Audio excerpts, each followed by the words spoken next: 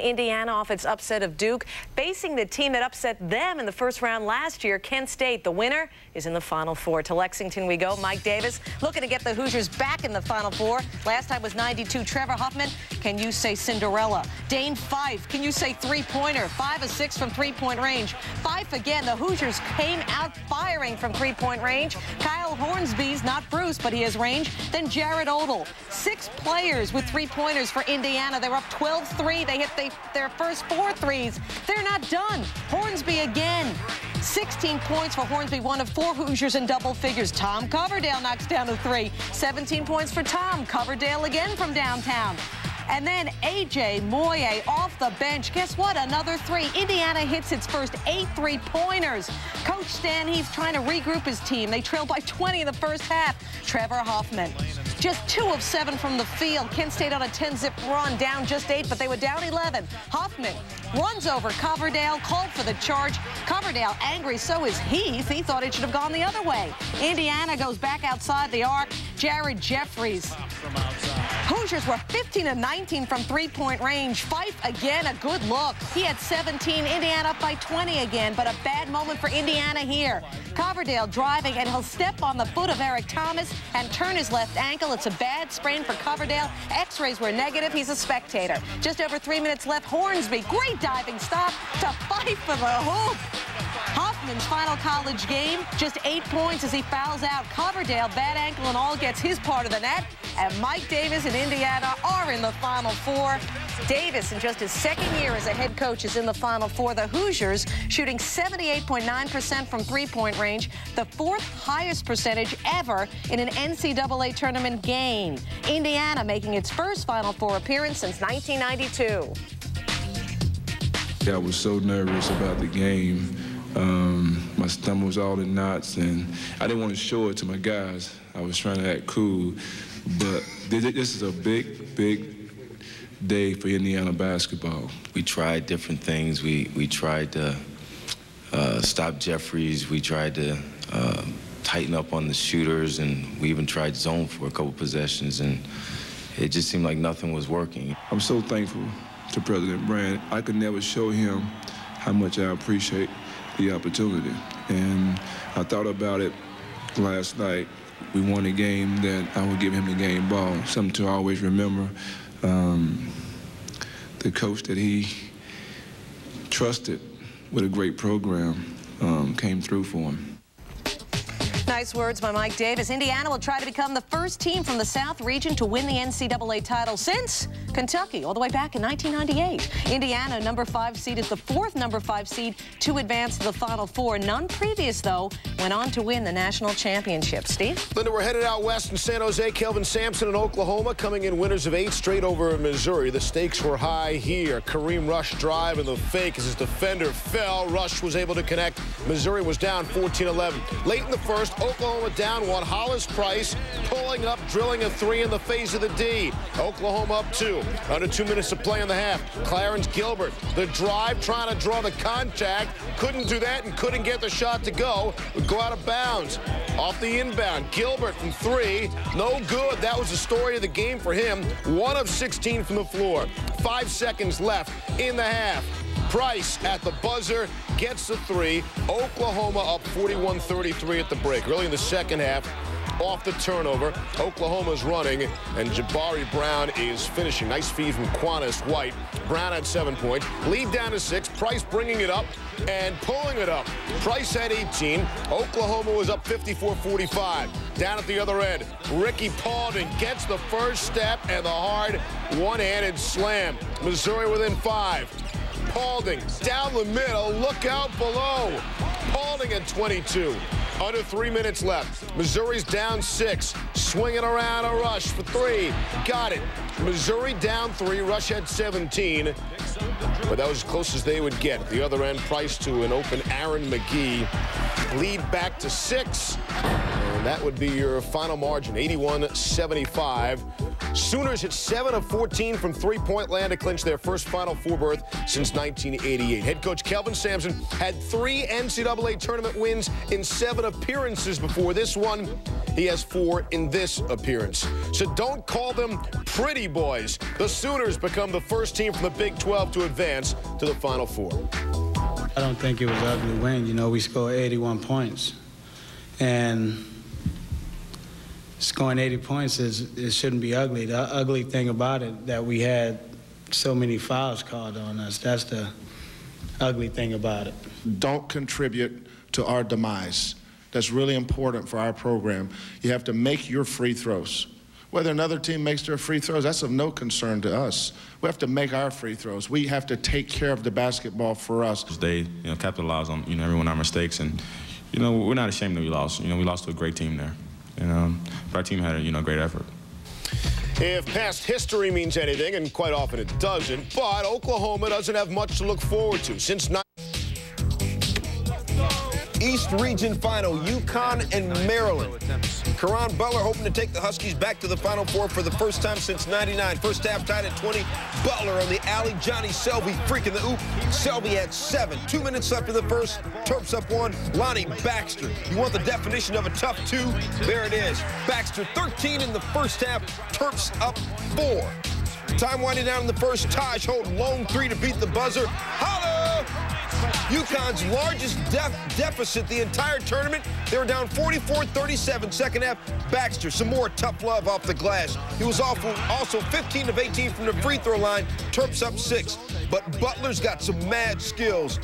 Follow-away jumper. Shorty only scored six points in the first half, but in the second half, you got to drop that like it's hot. He came in averaging 26 points this tournament. Huskies a one-point lead. Chris Wilcox getting some bunnies on a Baduka dunk. He had 13, Terps up two. Terps down two, Juan Dixon, nice fake, money. Only player in college history with 2,100 points, 300 steals, 200 three-pointers, and then Dixon takes it to the house. 10 of 18 shooting, we're tied at 62. UConn down one. Ben Gordon, the touch pass to Emeka Okafor. I got you Okafor right here, Steve. Six points, six boards, Huskies up two. Now, Huskies down one, Okafor. Huge block on Steve Blake. Butler on the other end. Caron Butler was just holding it down. 32 points, 9 of 13 shooting. Huskies take the lead again. Under four left. Terps down three. Dixon, 4-3. Right into Leak Brown's grill. Dixon at 27, third leading scorer in Terp history. 2-10 left. Baxter, turnaround, play up, please. 29 points, nine boards. Maryland playing its 2,000th game in school history, up two. Steve Blake had not hit a bucket the entire game. Booyah for the three. Only bucket of the game. Terps go up six, and Terps are going to the Final Four. They win it 90 to 82 and they end UConn's 12-game winning streak. Second consecutive trip to the Final Four for Maryland. Lonnie Baxter at those 29 points. Juan Dixon has scored at least 25 in three of the four tournament games so far this year. Caron Butler leads all players who reached at least the regional semis with 26.5 points per game, but his Huskies fall to 1 and 5 all time in Elite Eight games. It's a special season, and I, even right now, uh, the one thing I'm going to hate tomorrow morning is uh, waking up knowing there's not a practice. And sometimes at the end of a season, you don't always feel that way. I'm going to feel that way. Uh, this team has really been special to me. We've had people tell us that, you know, they got their tickets for Atlanta because we're going to the Final Four. They told us that in September. And uh, there's been that pressure all year, so to get back there is a great feeling for the players. I, I could see it today walking off the court, the relief. You know, it, there, there was joy, but there's also relief in that situation. So who's coming out of the Midwest? Would it be Kansas or would it be Oregon? Fellas, whatever happened in this game, I want to look in your eyes and I want to see that passion and see that fire. Let's play. Let's play and just enjoy it and let's get after it. Let's go. Let's get it done and get to Atlanta. Get it done and get to Atlanta. Final four on three. One, two, three. Final four. Let's go. Go. Except Roy Williams and Kansas was standing in their way. First half, Kansas by six. Nick Collison, the pass to Drew Gooden, reverse jam. Later in the first half, Ducks are down 10. Anthony Lever grabbing the loose ball. The pass ahead to Freddie Jones all by himself for the jam. The Ducks were down eight. Two possessions later. Things tightening up. Luke Ridnour, the steal, pushing, pushing, and now dishing to Jones for the emphatic jam. Ducks were down three. Next Oregon possession. Jones knocking down the three. We're tied at 40, and here we go. Late in the first half, Jayhawks by four. Aaron Miles, the pass inside to Collison. He had 15 at the half. We played our asses off to get back in this game and have them right there. And we're still right there, but if you just understand, that team is getting tired. They are getting tired. I was tired just watching the first half. Ridnour, long alley-oop to Jones for the jam. Jones had 30. The Ducks down four. Gooden, the miss. Collison is there to tip home the rebound. That was the story of the game. Here come the Ducks. Lever from three. I said Lever from three. Ducks were down five but it's all Kansas down the stretch. Gooden misses. Keith Langford, one of the unheralded players for them, the follow jam. Jeff Boschee misses, but that's okay. Collison there for the putback. Collison at 25 and 15. Kansas by 14. Miles misses the jumper. Great interior passing by Kansas. Collison finishes. Jayhawks out-rebound Oregon 61-31. Roy Williams and Kansas going to the Final Four. It's okay to feel hurt because you're a warrior and you played your tail off all year long. Just an incredible, incredible year and an incredible run for this institution and for yourselves. Allow yourself to hurt a little bit, then you need to get over the hurt. And you need to feel good, you need to feel proud, because you are truly one outstanding basketball team. And I mean that too. You captivated the country, you played your tails off for us, you played hard, you did everything we asked of you to do to get us to this point. And my tears are not because we lost, because we'll get a chance to play. Because coaches really work hard to get to the point of having teams like you guys, where all you care about is winning. You play with your inner spirit, your heart. I hope we can duplicate this again because it's just incredible for me to see that, to see guys do that, come together like that. Wow, that's powerful stuff. Ernie Kent is my new favorite college basketball coach in the country. It'll be the 11th Final Four appearance for Kansas, fifth most of any school, third Final Four under Roy Williams, and their first since 93. Gooden had his third 20-rebound game of the season. Get this, he and Collison out-rebounded all the Ducks all by themselves, 35 to 34. And the Jayhawks grabbed 26 offensive rebounds, leading to 31 second chance points. Now, another chance for Coach Williams in Kansas. You, know, you got to coach a lot of heat for not uh, reaching some goals that you know that we haven't reached in the past. And I think it's just a bunch of crap because Coach Williams is a great coach. This team this year, I've uh, I've enjoyed the heck out of this team since I think October 13th was our first day of practice, and we've had a goal to to make it to Atlanta. Uh, that was going to be our goal. If we had to say it after a first round loss to Holy Cross, we would have been tough enough and man enough to stand up and say it. So Kansas goes to the Final Four for the third time under Roy Williams. Lynn Greer is Chaney's leading scorer, averaging better than 23 for the season and 32 a game in the NIT before he turned his ankle against Louisville. Greer's been on crutches since, but wanted to play Tuesday against Memphis in the Garden, and it would have helped. But coach said, uh-uh. Quoting Chaney, this kid has earned a place in the NBA. I wouldn't take a chance of ruining him, of playing him, excuse me, and ruining his chances. To the Garden we go. Remember when these guys used to hate each other, Calipari and Chaney? They're all good. And there's Lynn Greer, not playing. Second half, tied at 74. This is a good ball game. Brian Polk, a wide open look from three. And he gives the Als from Temple and Foley a lead. Moments later, Tigers down three. Dajuan Wagner, who just went off, off glass, ties a career high with 32. Now under 25 left. Wani with a drive, draws everybody, finds Kelly Watts for two of his six. Memphis takes the lead by one. Last shot for Temple. David Hawkins kind of gets trapped in the corner, nowhere to go, nowhere to go. Got to put it up on the rim, and he does, and he gets his own board. That doesn't go. Kevin Lott has a chance at the buzzer, and it doesn't go down, and Memphis sends John Chaney home. Memphis also beat Temple by 10 this year at Temple, but Wagner had only 15. That's in Philly near Camden. Maybe he was a little nervous. Here, he was 12 of 18 from the floor, including 5 of 6 from three-point range. I see ping pong balls in his future. Temple led by senior Alex Wesby's game high 25. Memphis awaiting the winner of Scott, that would be Syracuse and South Carolina. Now, South Carolina, the home team, they're wearing all white, but why is Syracuse wearing all white, too? There was some confusion.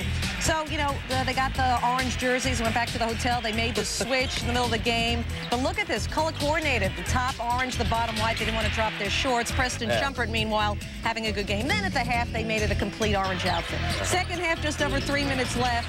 Did I really say dropping shorts on TV? Gamecocks up six. Orange firing back to Sean Williams finding Hakim Warrick for the slam. The Orange down two, but the Gamecocks punch right back. Chuck Eidson finding Mr. Howell and South Carolina, who had never been past the quarterfinal round of any national tournament, is in the final of the NIT. Aaron Lucas scoring a season-high 20 points. The Gamecocks shooting 50% for beyond the arc.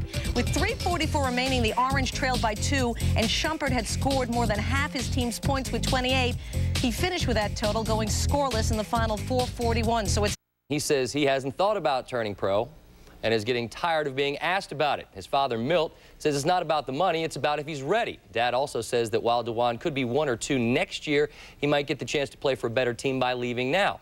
Oh, yeah, Memphis and South Carolina, they had a, they had a basketball game also, NIT Finals. We go to the Garden, we go into the showcase, and if it's the last game, Coach Calipari, what do you think? Should he go? Should he stay? What? If he goes to the NBA, I think he'll do fine. The question is, you know, eh, Marcus Camby went through this his sophomore year. Do I go now or do I come back and do I go one, two, or three? Marcus Camby never hung a hundy.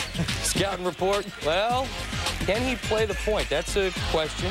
He didn't have to play the point, and maybe he's not going to want to. Here, he hangs on to it a little bit too long, picks up his second foul the first half, had to go to the bench. How about the ability to score? Well, I just mentioned he hung a hundy, mm -hmm. him and Wilt. Well, that's that's unquestioned. Four seconds to go in the first half. NBA range, lights, camera, action.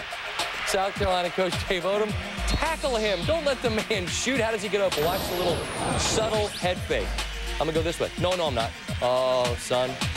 And splash. That put Memphis up six. They didn't look back. Second half, Wagner showing off the ability to create his own shot. Got to respect the range from out here. Dribble drive, hang, and hit. He's strong, big fella. Memphis up eight. Incidentally, there was, as I mentioned, a game.